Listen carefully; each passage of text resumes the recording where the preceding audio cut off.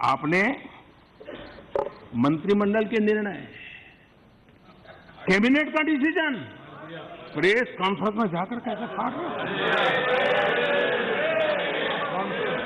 कौन सी सेंटिटी कौन सी संस्थाओं का सम्मान?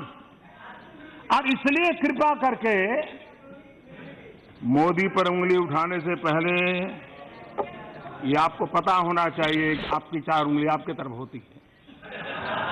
और इसलिए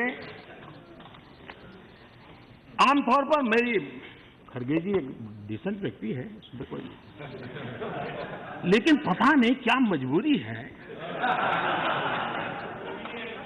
इस मुसीबत में फंसे हैं कि एक डिसेंट व्यक्ति हर बार डिसेंट हर बार डिसेंट हर बार डिसेंट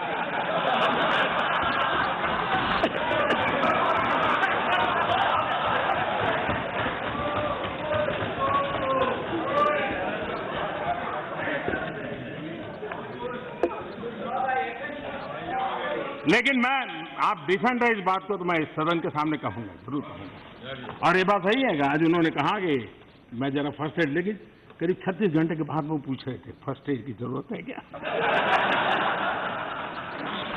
तो आप एक सीनियर व्यक्ति के नाम, नाते हम जैसे लोगों की चिंता कर रहे हैं, इसलिए मैं आपका आभारी हूँ।